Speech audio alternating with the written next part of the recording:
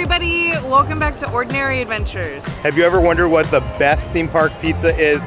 We have two, and today we're gonna go to all four of the major Southern California theme parks. We're gonna put it to the test. We're gonna try all the best pizza in the theme parks, and hopefully we're gonna get an answer. So why don't you come with us On this adventure. And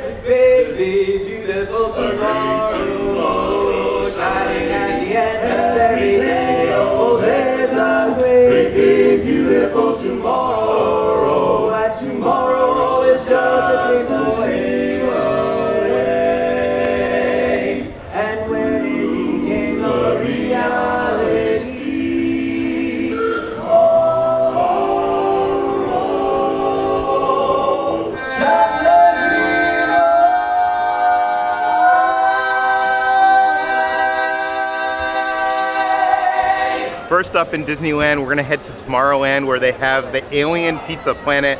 This used to be Red Rocket's Pizza Port, which was part of the 1998 New Tomorrowland. Before then, it was part of the Mission to Mars and Mission to the Moon attraction. In 2018, Pizza Port was turned into Alien Pizza Planet as part of Pixar Fest promotion and became permanent. Walls inside used to feature attraction posters to old Tomorrowland attractions. Now it features attraction posters featuring the green alien men. If I have one criticism other than the food, it's they should have the claw machine in there. I think like every kid would want to spend money to use the claw to get like one of the green alien men. Let's go try this out.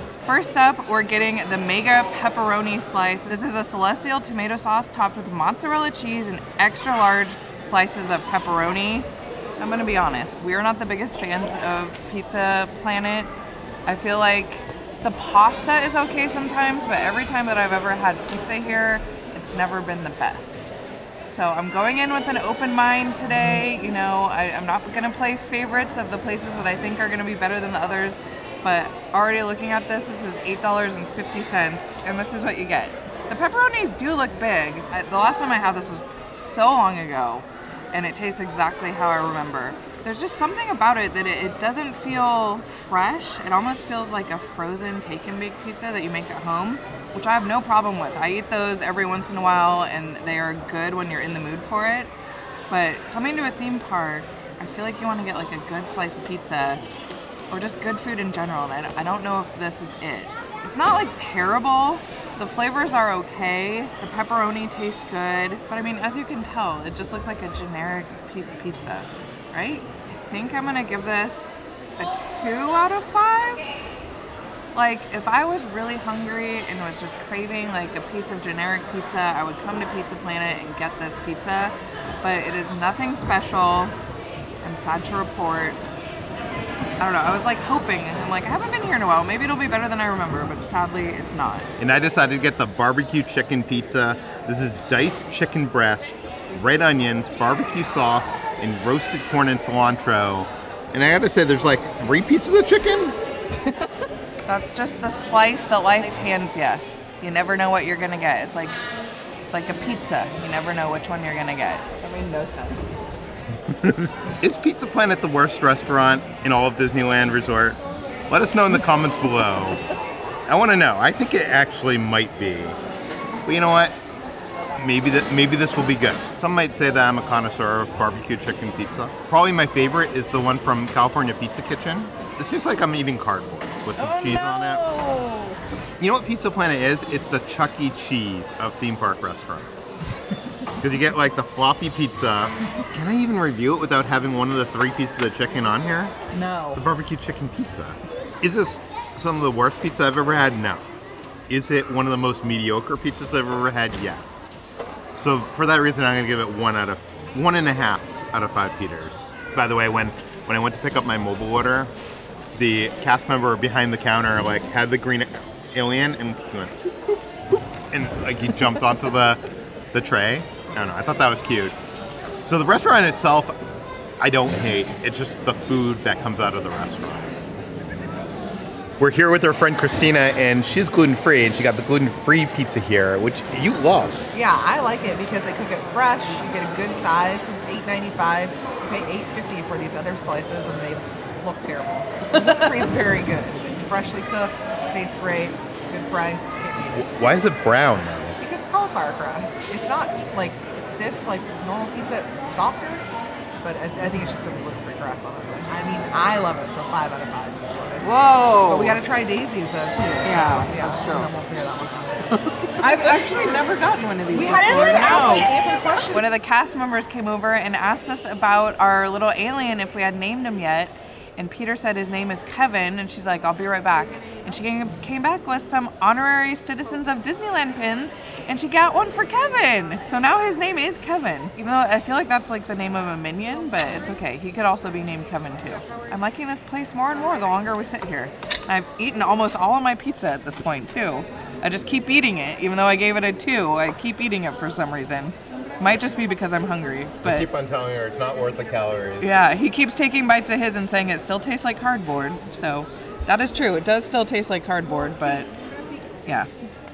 Another cool thing about Pizza Planet is right outside at the Hypercool stand, you could get a soda or water and it shoots up like a rocket. I love it. It never gets old. I'm amused every single time.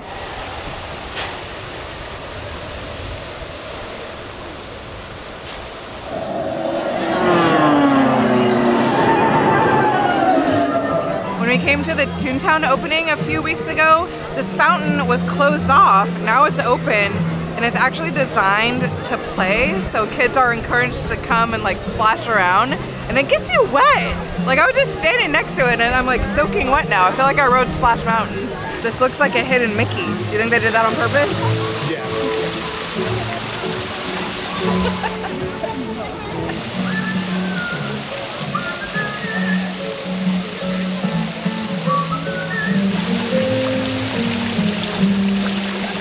One of the Easter eggs we didn't point out last time we were here is if you look into the Toontown Hills, you'll actually see Walt's barn, a tribute to the man himself. I love how Toontown now is just so full of life.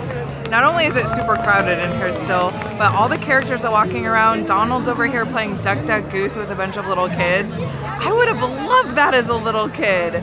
He's making memories for those kids that are gonna last a lifetime. It's just, it's so nice in here. I love it so much. Thanks, Donald.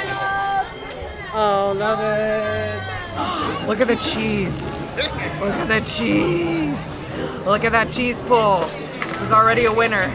One of the newest additions to Disneyland is back in Toontown at Cafe Daisy.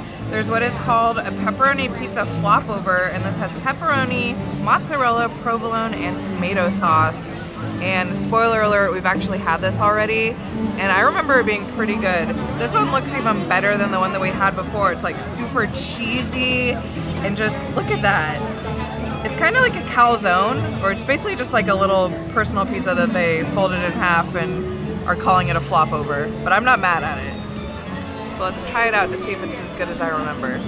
What makes this awesome is all of the cheese in there. It is packed with cheese. Oh, baby. Oh, baby.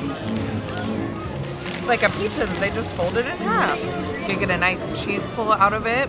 And if you open it up, there's actually a lot of pepperoni in there. There's at least like four or five huge slices. On the side here, they put like a like a garlic kind of parmesan. So that adds like a nice extra little bit of flavor there. I'm giving this a, a five out of five. I think that's what we gave it before. I don't remember, but this is good. It's so good. Like for Disneyland pizza, it's it's top notch. We have a an Ordinary Adventures pro tip. We heard that you could buy a side of the chili cheese sauce and dip your pizza in it. This is could either be amazing or gross. I don't know. I mean, it looks gross, but I'm sure it'll taste good. it's messy, okay? You just gotta come Either to we are terms. geniuses Yeah, or this is going to be gross. yeah. This is a, a thing that we invented. I lied and I said that we heard that you should do this. I'm, I'm telling you right now, this is something that we just were like, we should get the, the sauce and dip it in there. Could be good. or we're gonna pretend like we heard it elsewhere if it was bad. So if it's good, we invented it. If it's not, you heard it somewhere else.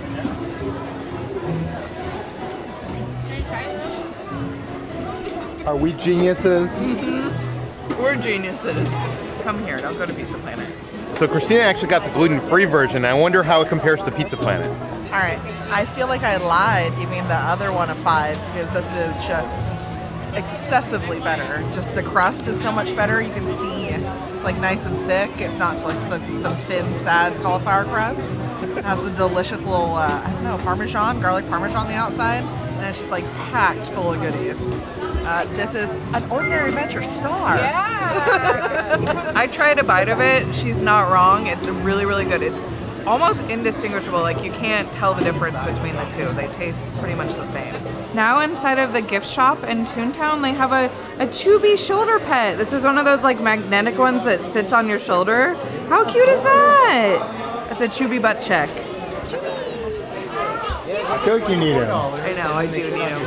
I kind of do need him. He's so cute.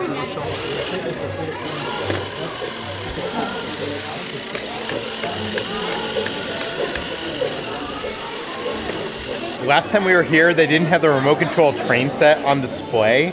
Now they do, and I do I need this for 150 bucks? I think I need it. I love that Chuuby's in the front seat. Daisy's just like hanging on the back. Let me out. Let me out. You just climb right through. The apple of my eye, the cream in my coffee. Oh. I hope I get a big surprise in today's mail. Welcome to Mickey's Toontown.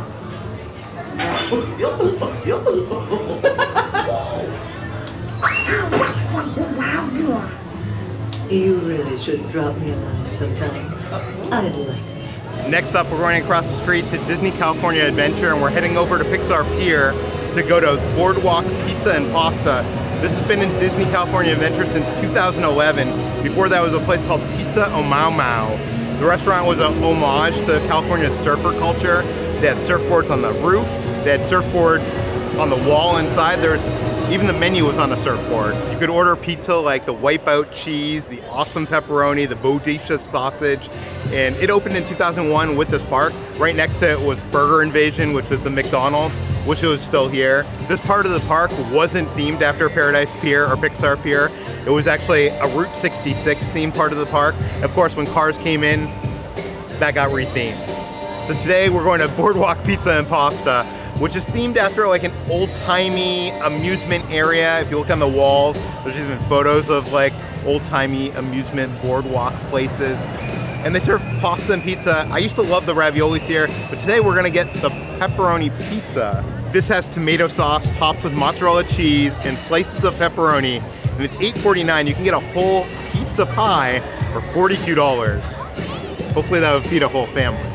The pepperoni slices here look a little smaller than the other places we were in the park, and there's actually some charring and stuff. This this is like the first pizza slice that actually looks like a real pizza slice. The sauce is zesty. There's a good amount of toppings on there. It's not like Alien Pizza Planet where there's like three lone pieces of chicken. Pepperoni's all over the place, and the crust is crispy on the outside, soft on the inside. A four out of five Peters. It's good, but it's not as good as that flop over pizza in Two Town. I feel like the main difference between this and Pizza Planet is the marinara sauce. It is so much more flavorful and zesty. It almost kind of reminds me of Round Table Pizza, like their marinara sauce is kind of zesty. But I don't think it's like that much better. Like the, the dough is a little bit nicer. You are correct in that respect. But I'd probably give it like, I wouldn't give it a four. I'd probably give it like a three. The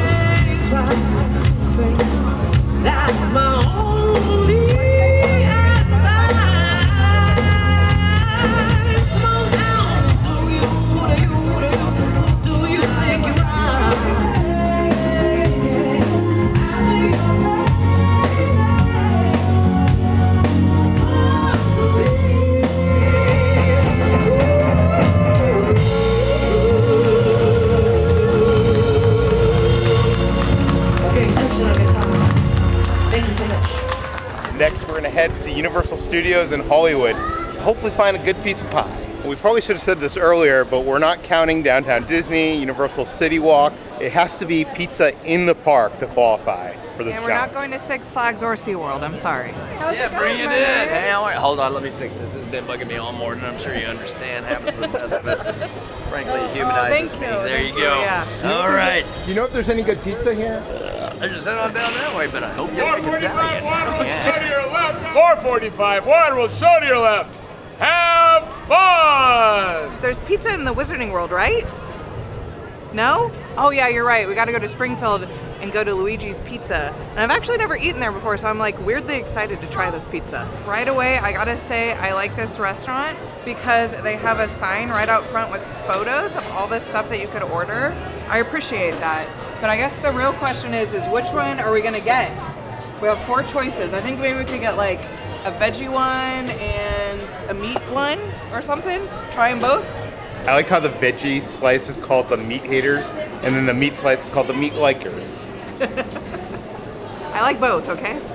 Luigi's Pizza is based on Luigi's Italian restaurant in The Simpsons. That's where you see Fat Sal and other mobsters in Springfield hanging out. According to Yelp, this is the worst reviewed of the pizza choices that we're gonna go to in this video. It's also one of the most expensive. Over at Pizza Planet and Boardwalk, it's like about $8 a slice. Over at Cafe Daisies and Prop Shop Pizzeria, it's like $10 a slice. It's also $10 a slice here, but you can get a full pizza.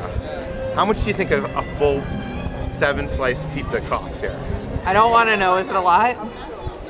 $60. I mean, if you have like a family of five, I'm trying to rationalize if that's a good deal or not. It's probably not a good deal.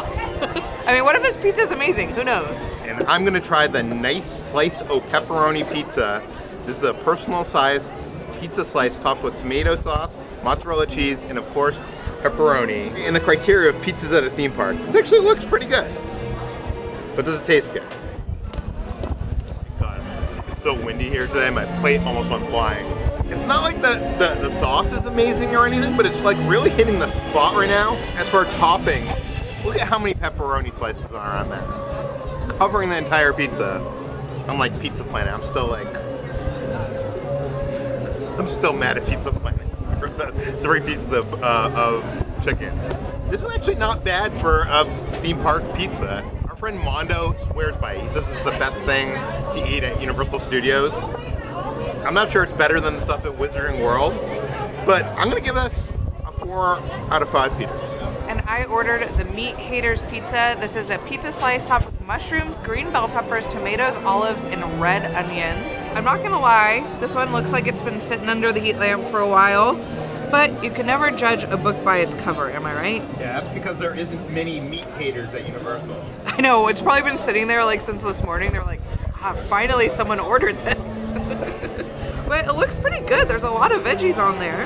There's like a bunch of olives. You know how much I love olives. Since it is so windy and we've been sitting here for a while, it is cold at this point. But fun fact, I actually like my pizza cold. When we get pizza at home, the next day when I eat the leftovers, I don't even heat them up. I eat them cold, baby. This is good. I am so shocked right now. I think I need one more bite.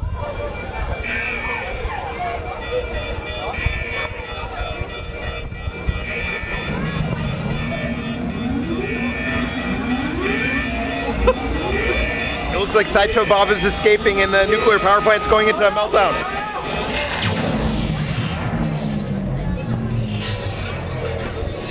I love this area. I'm gonna be sad if they ever get rid of it. This is good. So far, out of all the stuff that we've had, besides the pizza that we got in Toontown, this is my second favorite. This this doesn't taste like a theme park pizza to me. It's just like a little bit better than like your average run of the mill pizza. I'm gonna give this a, a four and a half out of five. This is definitely something that I think I'd get again. It is kind of expensive, like we said, but I mean, you're at Universal Studios. Everything's expensive. I've just bit into the crust, and it is so good. It doesn't taste like cardboard.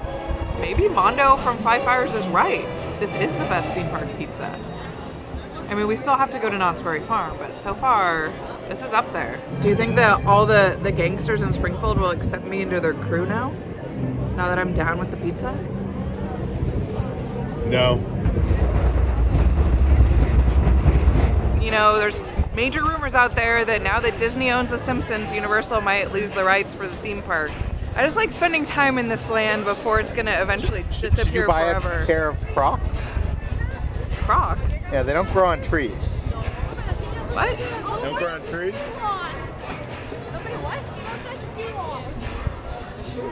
I was like, is that some weird Simpsons reference that I don't understand? No. Why, why is there a croc on the tree? That makes me sad. Where's the other one?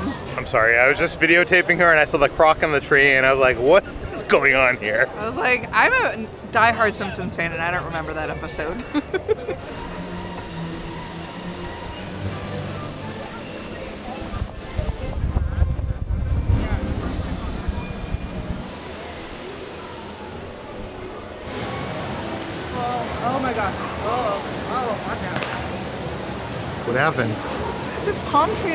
swaying and all the dead palm fronds are falling off and hitting people in the head when they walk by City Walk. By the way, did you know there's a hidden Mickey in City Walk? No, where? So if you go to the sheriff's substation and you go to this this mural right here, you'll see there's a Mickey Mouse. Oh, never knew that. Last but definitely not least, we're here at Knott's Berry Farm today to try their pizza. Hello, ladies. Can you tell me where to get some pizza around here? You look like a girl that loves a good slice of pizza pie, am I right? Why do they always ignore me? So rude.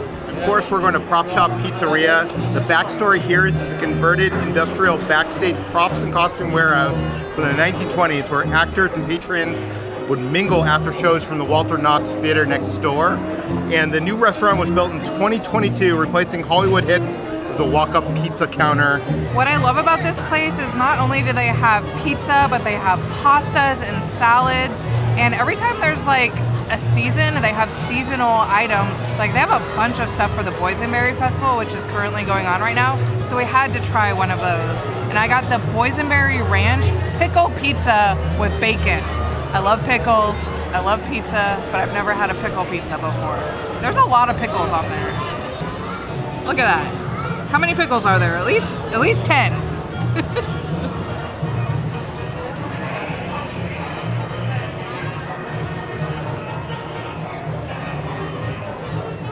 Not good. Oh man, I do not like that.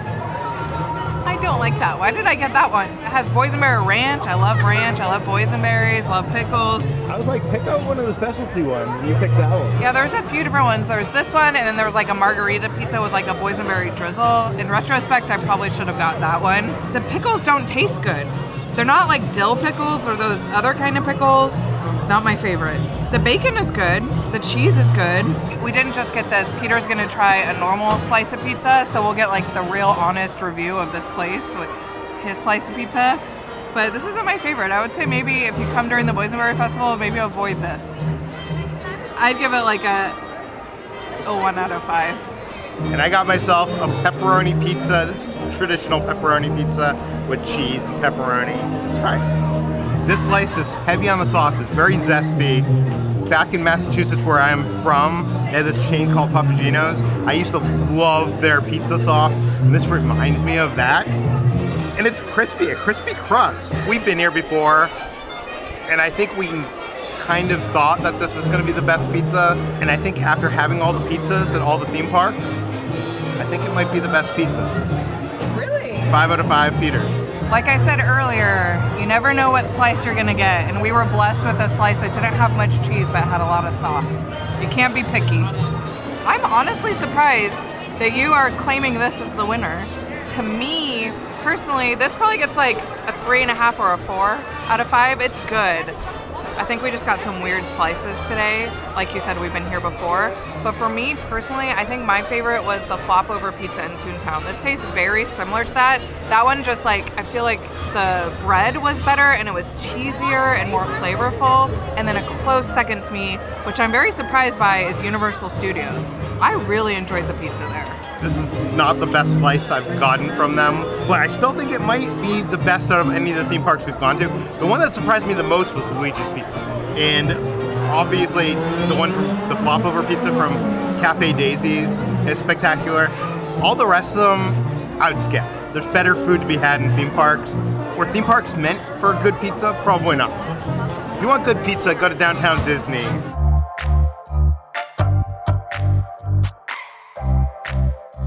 You want to see the last time we did this, we did it for the best theme park fried chicken. Put the video right over there. Tell us what food you'd like to see us investigate at the theme park. Yeah, churros, ice cream, we're down for the challenge. And we want to say thank you to some of our Patreons. That includes Ben, Lindsay, Krista, and Arlene, thank you guys so much. Thanks for watching, guys. We'll see, you on, the, next, adventure.